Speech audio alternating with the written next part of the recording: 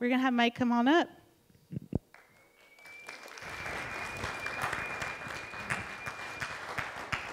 Man, we have a good crowd today. Um, I'll tell you what, like I did not expect so many in the house, considering we have so many ladies up on the hill. Um, that's always good news. Um, and again, men, this is the last week you can sign up. This is it.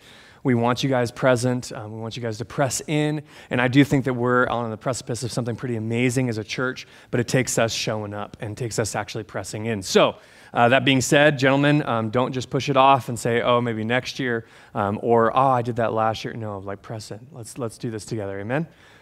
Yeah, I got one amen right there. Yeah.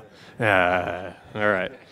Hey, let's pray. Lord, thank you um, just for, for who you are, what you do in our lives, and um, that you call us to a place um, of better.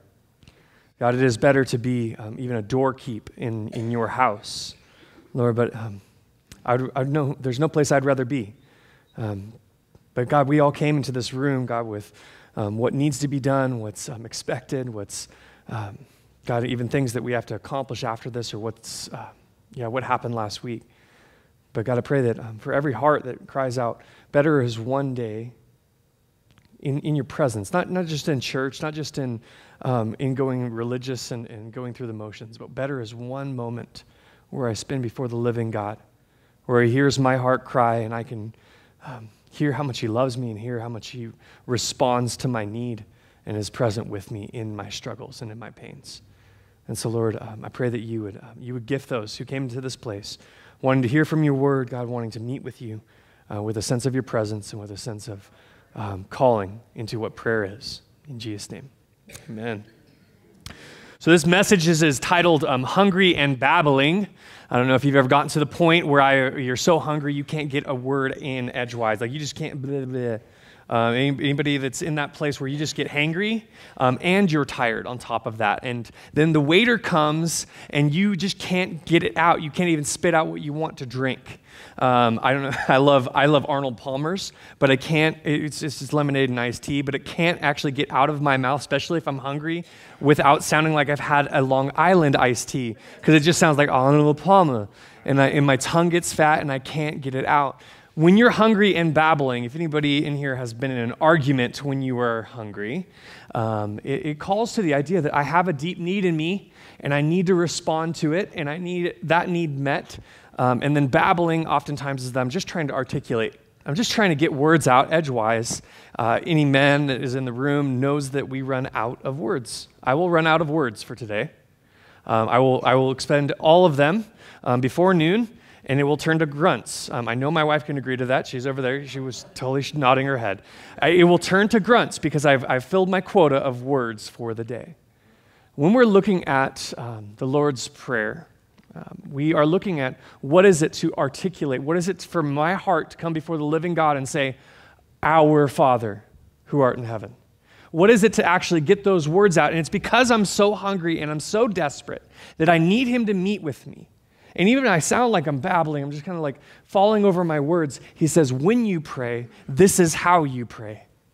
And so, as we get into this portion of the Sermon on the Mount, there's been some stirring up about what this text is because we've submitted ourselves underneath the teaching of Jesus. And so, guess what happens? Uh, it gets a little messy. I talk about, hey, forgiving one another, and it's been a bit crazy this week. Uh, we talk about turning the other cheek. It gets a little bit, you know, interesting. Uh, it's like when you're in your own home and you say, hey, you guys, let's try to be patient this week. Have you ever gone on a road trip with your kids and you're like, hey, let's just be patient. Let's like be kind to each other and it ends up being a nightmare. Uh, because whenever you start to call out what the standard is, you're aware of where you fall short of the standard. But the Sermon on the Mount is that Jesus is calling you, he's teaching you how he's going to make you to be. And so when it comes to prayer, um, man, there's nothing like it. There's nothing like being able to, to articulate, to share, to actually lean in and say, This is how I pray. Um, my prayers have looked different throughout the ages. Um, I know that I was praying at a very young age. Uh, if you've ever been in a large concert and there's this cry out from like, and we're talking about with from that teen angst where you're like crying out for something. Anybody ever been in a concert? You guys boring? Come on, you guys have been in shows, right? And and like it's just like it's dark and there's lights and it's and you're just like crying out, and that is a prayer. I promise you. That, that, that, that kind of almost even like deep, I wouldn't say primal, but that deep call out. They don't know they're praying to something, um, but anytime there's been an anthem that has resonated with a generation, it is a prayer.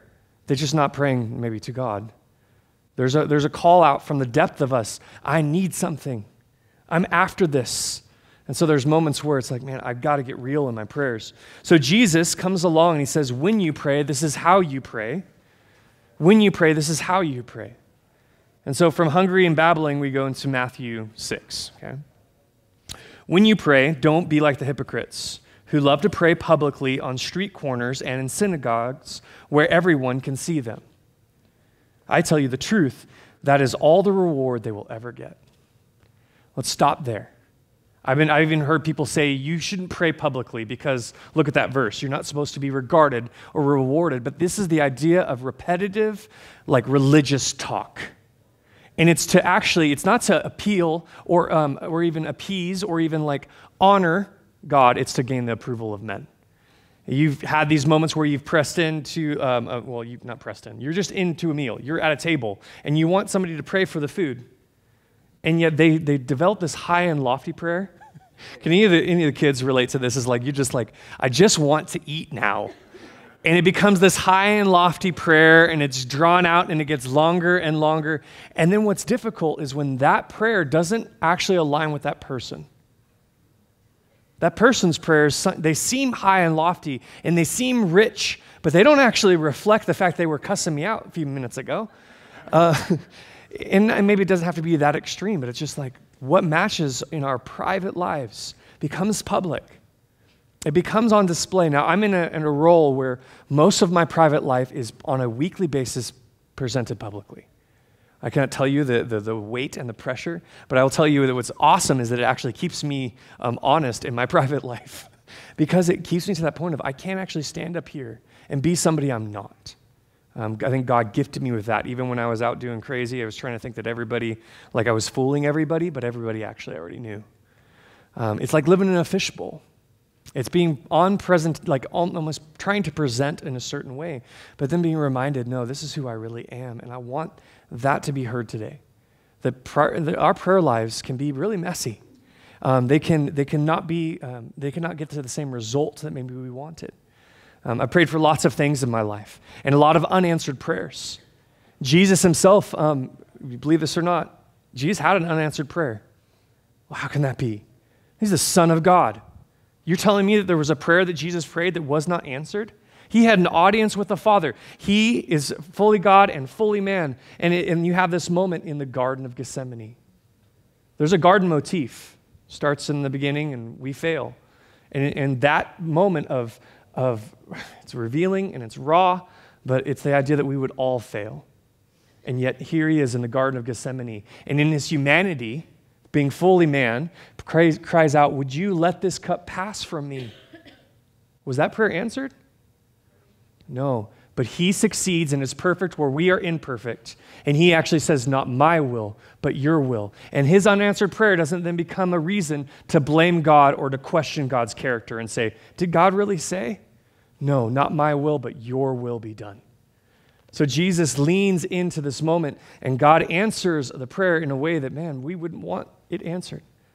We have so many prayers that we pray that if God answered them all, um, would it not be a little bit messy? It'd be a little bit messy. So it's not about being um, public with our prayers and looking for esteem and repeating ourselves over and over again so that maybe God will listen. He says, but when you pray, go away by yourself. Shut the door behind you and pray to your Father in private. When your Father, who sees everything, then your Father, who sees everything, will reward you. There's a secret place, a place of intimacy and relationship where all of the victory you need for the day comes. And I, I, will be honest to confess that there are mornings where you go, you launch into, I'm going to pray, and then you just don't because you thought it was prayer. And there are times where people even start to get loud in prayer. I've been in a lot of even, and I've got nothing wrong to say about it because when I go into a 5:30 um, a.m. prayer meeting, I don't want to hear nice little quiet prayers. Get me with some Pentecostals. Uh, you know, but then there's even the text about that. It's the idea of, hey, you don't need to shout, you don't need to lift your voice. Little did we know that they were just trying to keep themselves awake in a prayer time. But when you pray, don't babble on as the Gentiles do. They think their prayers are answered merely by repeating their words again and again. Don't be like them, for your Father knows exactly what you need even before you ask Him.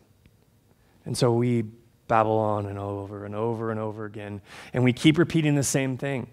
And we're guilty of, of doing this with it, even the Lord's Prayer. That we start to go into this rote repetition of, Our Father who art in heaven, hallowed be your name. Thy kingdom come, thy will be done, on earth as it is in heaven.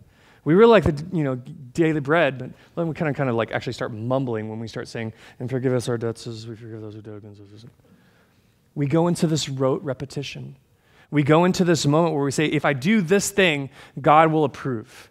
And what He wants is relationship. What He wants is is even dare I say intimacy. He wants a secret place. And so, referring not just to long winded pious prayers, the ones that sound really good, no, you can tell a lot about a man by the way he prays. And C.S. Lewis even presses to say, look, you, man, you should be praying, let it be the real me praying to the real you.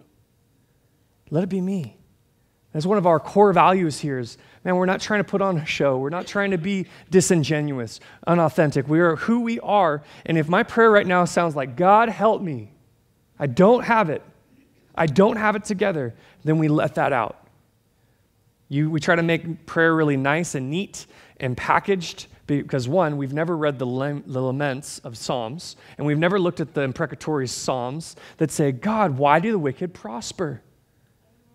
Why are we here? What is going on? And having that type of freedom to be able to ask our God, God, would you relate to me like a father who explains himself to me, who, who shares his heart with me to say, this is why you feel the way you do? So there's a secret place and there's reward in that place. And we're not focused on the vanity. We're not focused on these ideas of re- repetitious um, prayers because I can't gain any favor or merit simply through superstition. And I hate that because I wish I could just like grab a pinch of salt and be like, okay, I'm good. No, but God wants more than superstition. He wants more than formula in your life. He wants relationship. Now, if you've had any kind of relationship with prayer, um, it's kind of a, a love hate relationship. Can I get a, a, a nod? I have a love hate relationship with prayer. But Jesus says, as you pray, this is how you should pray. As you pray, this is how you should pray. Our Father, who art in heaven, hallowed be your name. Your kingdom come, you can say it with me, your will be done on earth as it is in heaven. Give us this day our daily bread and forgive us our debts as we forgive those who have debted against. Go ahead. Evil. And the kingdom and the power and the glory forever. Amen. Not a lot of confidence towards the end there. I pulled back so I could hear your voices. Right? There's, there's so much in the text, and the way it starts is our Father. I love the heartbeat that says that the, the, intimate, close relationship, my Jesus. Even Anne Wilson's song, let me tell you about my Jesus. But it's our Father. There's a uniting in that. There's a, this is our Father. This is who He is. And in that first statement, it is relational. I want you to know that it'd be super weird if I made my kids call me pastor. to start with title, like every time they address me, pastor. I don't even, I'll be honest, I don't even like it very much when you guys do it. It's okay, but it's awesome. Just call me Mike. Because there's a relationship. Before there's anything we do for each other, there's relationship. And so, this whole idea of like, we start not with Almighty, no, our Father, and He brings it relational. All the attributes, all that is applied to who God is in His character, right? Almighty, or whatever, you know, characteristic we draw from the Old Testament or New but the first statement is our Father. There's a big shift that happens. There's this moment where you go from that's the church to that's our church or that's my church. There's a big difference between God and our Father. But he says, don't just let that be buddy Jesus. Don't let that make into something where you start to go into, um, you know, Jesus is my homeboy and you get too comfortable because he immediately goes, hallowed be your name holy, holy, reverence, awe, struck wonder, this amazing God who created everything and yet gives me an audience with him? You know that God would allow you to talk to him? Let alone like allow. Now he even goes one step further to say, I want to hear from you. And this is the type of relationship that I want. Understanding that it's being with my father, being with my dad. It's not title. You know, the agnostic prays a different way. They pray to whom it may concern. Right? To whom it may concern.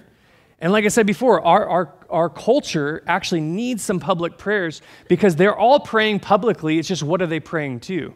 Make no mistake, many protests are prayers. It's just how is it voiced and what is it? When, when you hear somebody crying out for a certain thing, even if it's evil, there, there's, a, there's a deep longing in their heart. What are they praying to? And so I go from that point of like, okay, there's holiness that balances this relationship out. And I go from intimacy with my dad to there's a holy father. Thy kingdom come, thy will be done on earth as it is in heaven. Sounds like a great, great idea, but I'm not seeing a lot in alignment right now. Even within you know, the study in the Sermon on the Mount, it's stirring up things in people. and it's, it's drawing into attention and drawing up our memories to go, wait, actually, Jesus said to live like this. If you haven't seen some of the tension in our community, um, you probably kept your eyes kind of tight or you're just not aware. But it's like when you start talking about living with love towards one another, all of a sudden you find yourself in situations where you're like, I don't really want to love that person. You find yourself in those situations where I don't really want to be patient. I don't actually want to love my enemy. And these things develop. So, thy kingdom come, thy will be done on earth as it is in heaven. Give us this day our daily bread. Just today.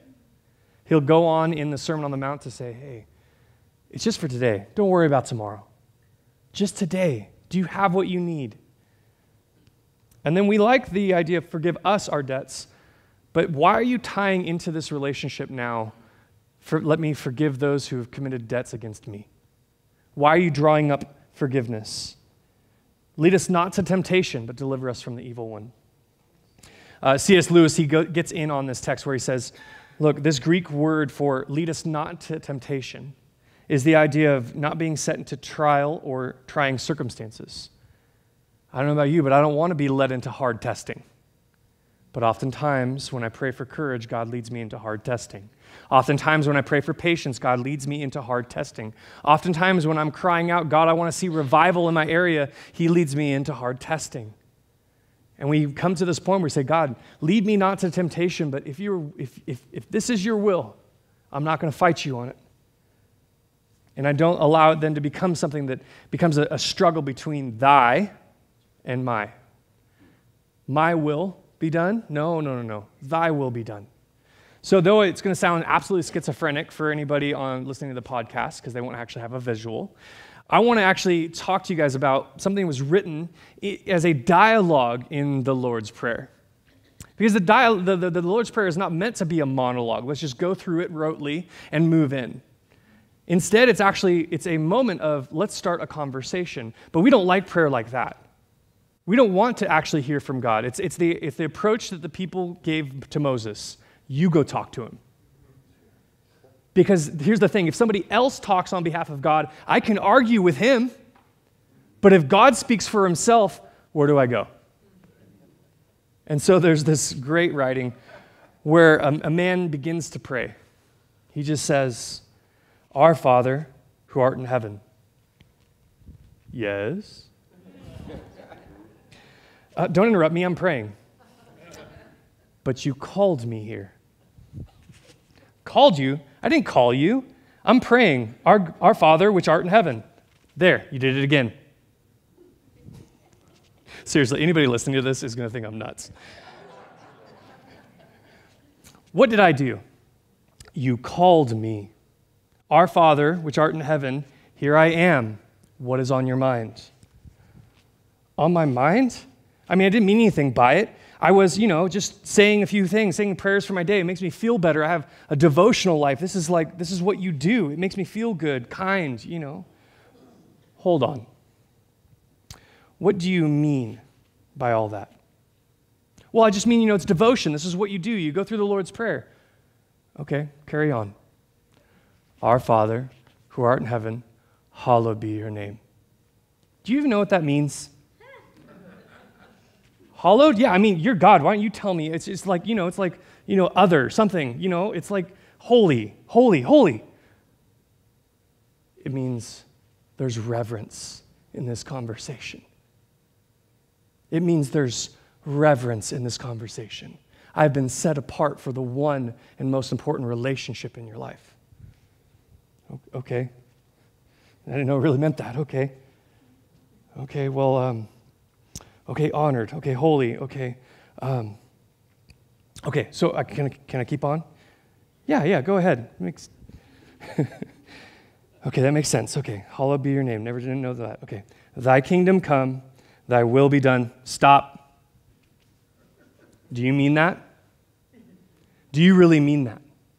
Do you really mean my will be done? Well, yeah, you know, I mean, I think it would be really great if you were in control of all things and like your will, uh, you know, on earth as it is in heaven. And, you know, I've heard that like you guys have gold as pavement up there, so that would be really sweet down here. And, it, you know, there's some people, there's a lot of bad people out there that are always against me. Can you just please step in and be in control? Am I in control of you? Do you really want my will to be done? Well, I guess, yeah, sure, why not? What are you doing about it? Well, doing nothing, I guess. I'm just, you know, I think I'm kind of, it'd be neat if you, if you ruled down here. But do I have control of you? Well, I go to church. I'm praying the Lord's Prayer. That's not what I asked.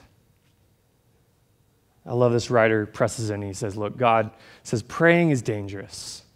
Praying can change you. You can wind up change, you know. And that's just it. I'm trying to get across to you something in regards to the Lord's Prayer and all prayer is it actually does shape us and it does change us. It's not too late to stop believing. And I would rather, I'd rather actually have you press in and say, I'm not going to stop believing in prayer. We think that we come to a certain point of religion, we, we prayed all, all the prayers, and then all of a sudden, wait, it's not too late. I, I have, might have tradition, I might have years of following God, but it's never too late to stop believing. It's unfortunately what people see. They see that, you know, after all the years, you should have monumental faith, but after all these years, I've just stopped believing. But prayer changes things. Prayer changes me. Prayer changes the world around me. And I'm not going to stop praying. That you press in and say, you know what? This prayer changes lives. It's not just rote, it's not religious, it's not like just going through the motions, it's relationship that is being built. Prayer is a dangerous thing. I'm going to repeat this twice because it's so gold. Oswald Chambers saying, Prayer is getting into perfect communion with God. There's no place I'd rather be than in this moment and I tell him what I know he knows. I tell him what he already knows, but I do so that I might get to know it as he does. I'll read it one more time. I tell him what he what I know he knows. I know it seems like, well, why would God want that? So that I may get to know it as he does. God already knows, but I need to get to know it as he does. I need to be able to approach it as He does. And there are times where you've prayed for certain things, prayer changes things, and I, I get into this exchange, this power exchange of not my will, but your will. And, and actually, let me tell you how this should go. And if it doesn't go this way, I'm actually going to do the thing that is human. I'm going to let it challenge my belief about your character. And now I'm just going to go ahead and change my theology to stop praying for the thing that might be difficult to believe in. So you pray, you know, at a time, you, you hear somebody come up and they ask for prayer. They say, Hey, I need prayer for my hearing. And you're like, Okay, great. And you lay your hands, you know, on the person on their shoulder and say, Okay, I'm believing God can heal you and, and bring you, you know, total restoration. And, and you're believing God and you're like fervent, right? You're like, you know, sweating it. And I've been in these situations. In Thailand, I, I prayed for a guy with a withered hand, right? And I'm like, This is the moment. I've been reading Acts for the very first time. This is when God heals. You know, and I'm like trying to stretch out his hand and it's not working. Um, and there's no there's like a language barrier so it's super thank you mark because it is it's comical at times you're like god has called you to pray for things and then it doesn't happen you're like am i on display am i a fool here you know like what what do you need from me what do you want from me and so someone comes up and they ask God, would you, you know, would you heal me? Um, and so this, this man who came forward to ask for prayer for a, hear, a hearing, I said, okay. And I lay my hand, I start praying for him. Would you please heal this man? Would you please heal him? And finally, I look at him after I say amen. I said, like, well, how's your hearing now? He's like, I don't know. It's not until Tuesday. Uh, it was in my delivery. It was in my delivery. I'm sorry. I drew it out too long. Um, there's moments where you do, and on a serious note, you pray for things to change. Louis Giglio is actually currently um, teaching through a study on prayer, and so it's nice when you hear other voices that are speaking on the same text and they're talking about the same thing. And he, he mentioned that prayer is exchange. It's not what I want to do, but it's what you want to do. And that's the greatest exchange. That's the difficult moment where you say, It's not my will, but your, thy will. There's an exchange in prayer of not my will, but thy will be done. And so there's moments, you know, Matthew um, talks about that, that trial moment. Um, 11 years ago, in October, um, this shining example of what you want in student ministry, although very messy at times, was this young man who um, I came to know pretty well. He had a, a crazy hair, sh- you know, shiny gold. We, we, we regarded it like a, a, a lion's mane. And we, we were so thrilled to have this young man, um, one, give his heart to the Lord, but also that he was, um, like I said, it was a little messy at time. He, there were constantly ladies that were talking to me about how he'd broken their hearts. So it was a little bit messy, but we were grateful that he was going after Bible study. He's going after the character of God. He's going after these things. Well, one night after he had um, taken a, uh, he and a friend had taken a young lady back home after youth group, um, he lost the back end of his truck because it's lighter back there, and, and you slide sideways sometimes when the roads are wet. And uh, if you've ever seen what an oak tree can do to someone, um, or even to a vehicle, um, Dalton was placed um, in ICU. You travel down to Fresno, you get to the ICU, which is the worst part of any of it, and you know the, families have been separated because one was driving and the other was not. But though it was an accident, the, the, the anger is going to, to come up. Of, of this happened to my boy, you know, this, this is what came. Right? And so I sat with the family and I sat with the other family and, you know, find out, okay, one, one kid's okay. He's going to make it. He's got a bu- couple of busted ribs, but he's okay. And then Dalton, for six months, we spend fighting for him to be healed. A youth group full of kids, like saying, hey, we'll believe right? We're going to believe. And every time they would struggle, they would be, we would believe. We'd throw these concerts so you can recognize the room 200 people coming and, and praying that his traumatic brain injury would heal. And even seeing results. Like we saw him start to talk. And we're like, this is to this is to be it. And I'm telling God how it's to be. Because guess what? My ideas are so much better than his. If this young man gets healed, right? Revival's to break out. All these kids are to say, that, "Oh my gosh, look what God can do in prayer." And they're to move out into their campus and they're to start like their faith is to be solidified. And you can see from the next photo, it's not what happened. And there's those moments where you go, "Okay, God, you asked me to do this and I put myself out there and I acted a fool." And I stood there and proclaimed in faith that God can heal, and then he did not. Well, I could just change my theology now. I could just sidestep and say, you know what? Um, well, yeah, I'll pray. God, if you're going to heal, if it's according to your will, and I get really shy about it. Or I, I trust that even unanswered prayer is not going to challenge the way that I see who God is.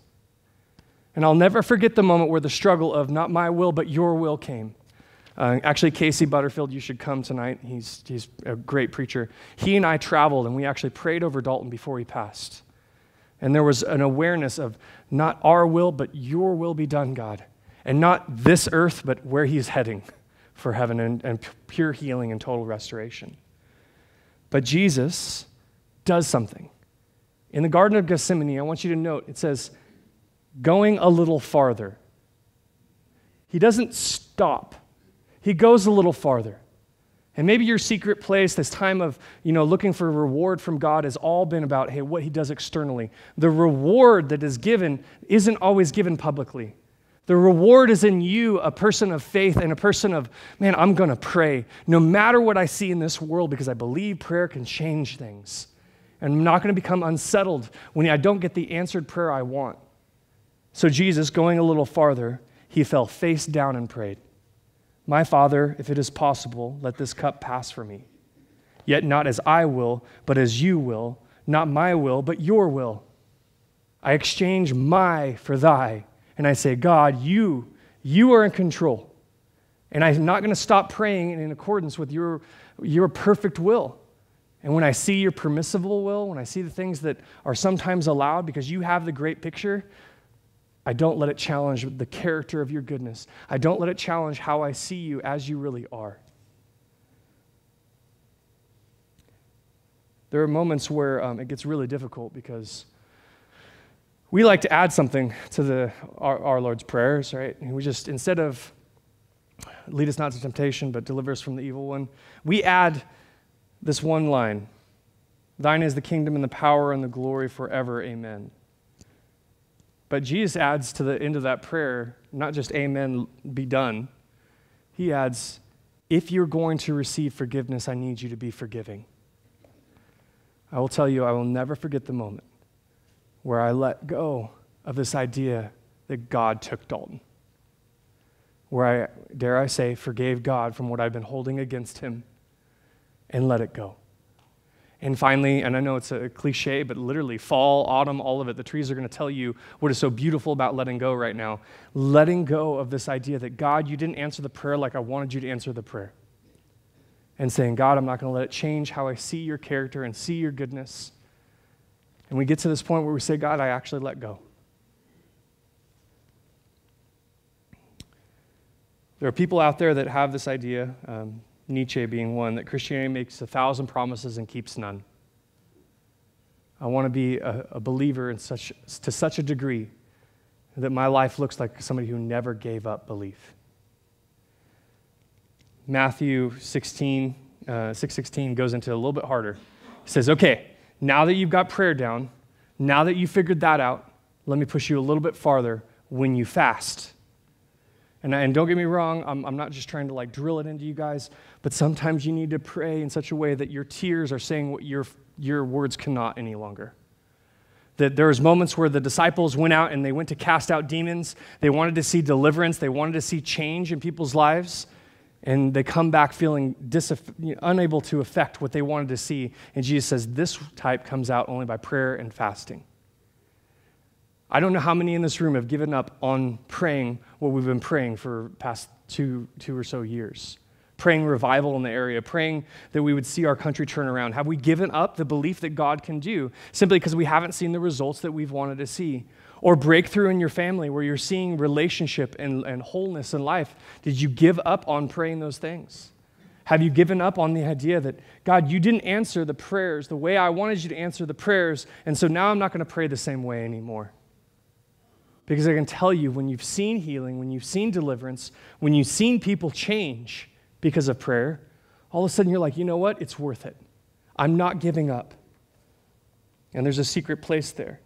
So you don't get all gloomy like the hypocrites do. You don't show everybody that you're fasting. That's the worst part. Have you, if you've been around people that they can't eat something and they want to tell you about it, right? I mean, especially like if there's something they, they're allergic to, you're sitting there enjoying it, and they're telling you they can't enjoy it.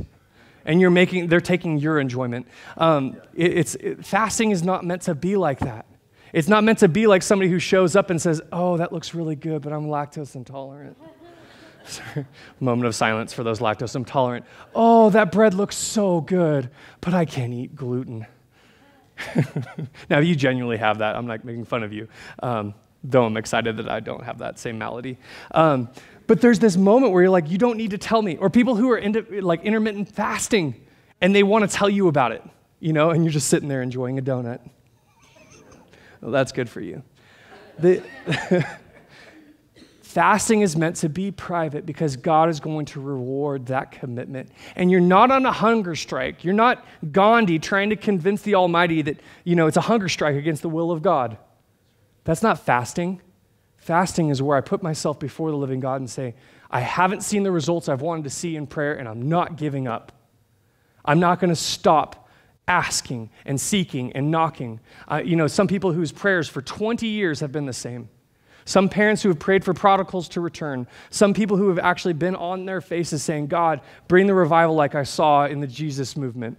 Those people who are praying for societies, praying for you know, friend groups. I have an entire list on a coffee cup of all the people I graduated with. And if I ever use that coffee cup, I always pray for certain names. Because I'm not going to stop praying that I see the results of, of, honestly, that salvation is for more than just me. So I want to encourage you guys um, that in your fasting you pray. Because you don't pray while you're fasting, it's just a really unhealthy diet that you actually get before God and say, you know what, I want to exchange my will for thy will. There's folks in our fellowship with cancer, there's folks that are, are, are believing in God for healing. And we're going to continue to believe in God for healing. Marriages that want to, that honestly, some people have chalked up and said that there's no way that'll continue. There's no way that that, that relationship's going to work. Saying, no, we're going to believe in God for that marriage to be beautiful for that relationship to be restored. And we're going to continue believing and hoping because it's worth it. It's so worth it. That sometimes you need to pray so hard that your tears say what your words cannot, that your laughter begins to say what your words cannot, that you actually pray, even if you look like a madman or a madwoman, a little crazy, to say, you know what, I'm believing in God for this. And if I, if I see the results are different than what I expected, that I don't then let it shake me about the core belief I have in who God is. I don't know what you guys are contending with, you know, contending for, but I'm to invite the team up because, and some of us just need to exchange my will for thy will. And for some of us, we also need to be in that place of, God, I forgive you for not answering the prayer the way that I thought you would. God's, I know that seems so bizarre, like we got to forgive God for anything. You don't, but your heart needs it to stop blaming Him to stop saying it's the woman that you gave me, it, it, to stop saying, making these statements that it's your fault, that you led me into temptation, that I did these things. You're instead saying, No, God, I didn't get the result that I wanted, but I still believe in you. I still trust you.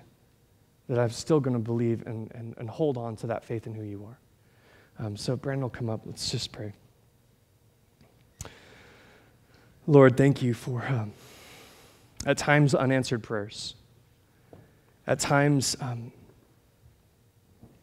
a shift and a change in us, an exchange where instead of my will, it was your will. God, for those in this room that have been um, contending and fighting and believing you for the results, God, and you haven't shown up in the way that they expected yet, I pray that you would give them patience, that those who wait on the Lord will renew their strength. God, we bring our wants and our needs to you, but we, we start by saying, Our Father, who art in heaven.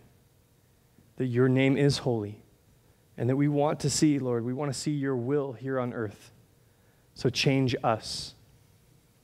Lord, help us to be content with the day to day. Help us to also, God, press in to seek your forgiveness and to forgive others. And we pray ultimately, Lord, you wouldn't send us into a time of hard testing, but if you do, if you so will, to send us into the wilderness, Lord, that we would not, we would not deny who you really are. We love you, God, and we ask for faith to rise in this place and that we wouldn't give up believing in you. In Jesus' name, amen. Um, so if I can have the prayer team, anybody wants to contend with somebody for something, um, I'll get the prayer team up here. Um, if you want to just, man, this is the thing I got to bring before the Lord, um, but not to be passive about it. So I'm going to ask you guys all to stand. Um, if, you, if you need to depart, you can depart. God bless you. But if you want to like contend for something, and you're like, man, this is the thing I've been praying for, but I'm praying alone, um, that you would actually move forward. Ask somebody to pray with you so that God would show up in your